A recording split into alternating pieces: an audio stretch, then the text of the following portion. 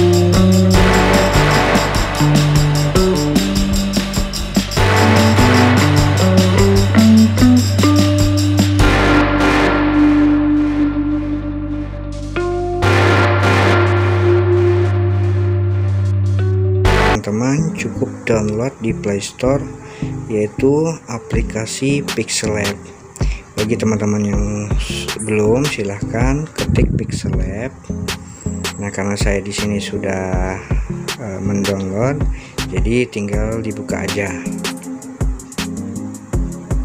Nah setelah dibuka maka tampilan yang ada di uh, handphone adalah seperti ini. Karena saya sudah mengedit sebelumnya tapi saya coba untuk batal.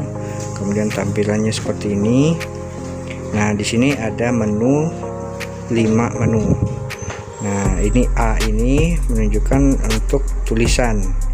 Teman-teman perlahan nanti akan berusaha bisa mengerti fungsi dari uh, tulisan seperti ini atau menu di sini. Nah kita coba saja untuk uh, new tagnya kita hilangkan terlebih dahulu atau kita buang. Nah sebelumnya kita harus membuat expect ratio.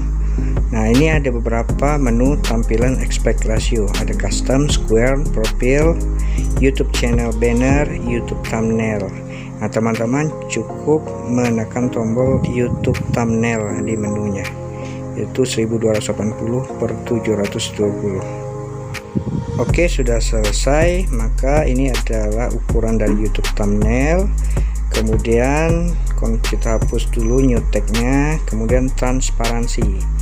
Nah di transparansi ini uh, ini kita terserah kita mau bikin bikin apa nama tuh mau bikin gambar atau ini kita apa nama tuh kita buang dulu. Atau warnanya kita ubah. Teman-teman silahkan sesuai dengan uh, kemauan teman-teman sendiri.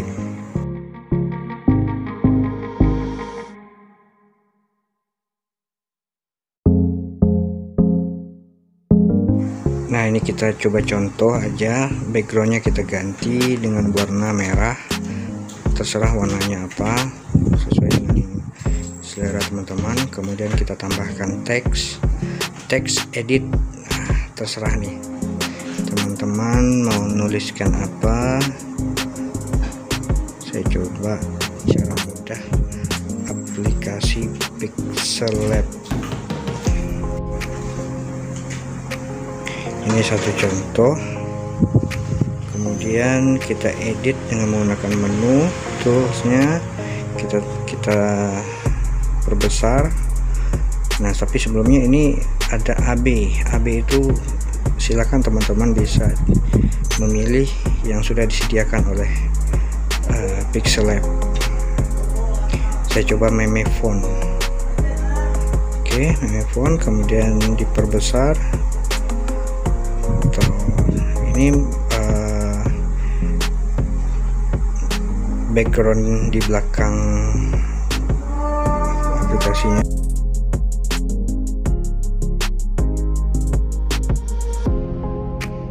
Nah, fungsi stroke ini supaya menebalkan atau memberikan garis pada huruf. Teman-teman bisa memberikan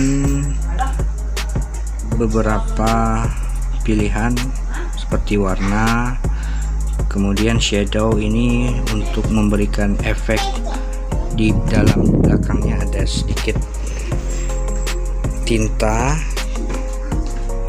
Nah ini tinggal dimainkan aja teman-teman. Saya yakin teman-teman bakal paham jika teman-teman sudah sering menggunakan pixel lab ini. Fungsi emboss ini yaitu semacam uh, efek cahaya.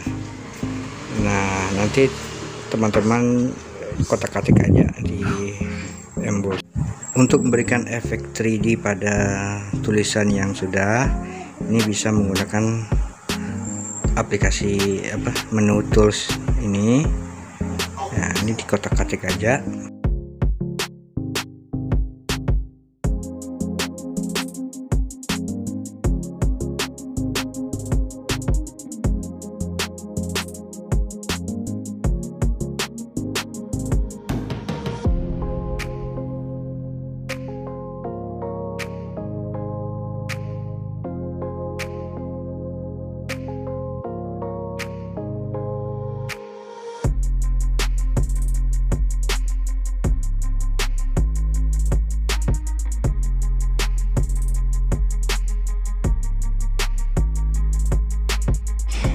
kita coba masukkan gambar icon pixel lab yang sudah kita download.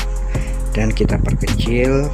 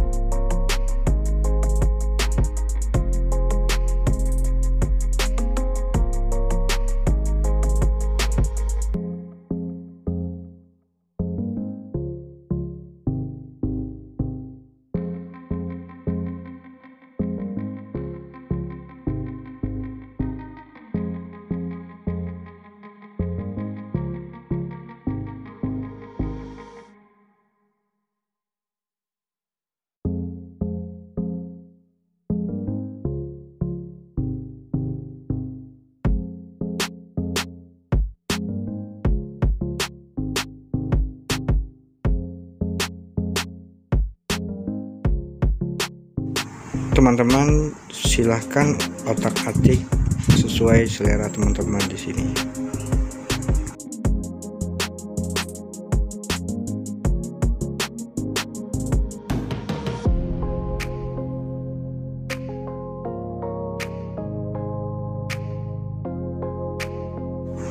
Mohon maaf nih teman-teman, ini tampilannya agak apa kecil jadi mesti uh, perlu diperhatikan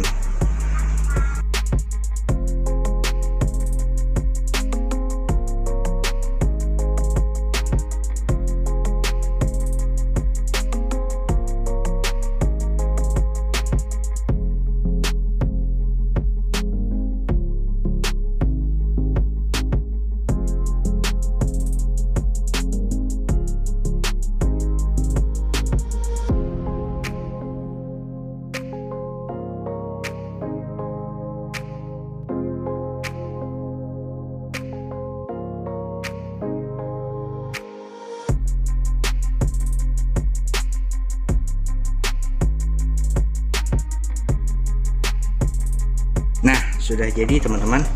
Ini uh, salah satu contoh saja bagaimana cara mengedit gambar sesuai yang kita inginkan. So teman-teman bisa coba di rumah. Jangan lupa videonya di save untuk ke galeri teman-teman jadi teman-teman yang suka atau hobi mengedit gambar sudah tahu pasti tentunya bahkan lebih jago. Nah mudah-mudahan video ini sangat bermanfaat bagi teman-teman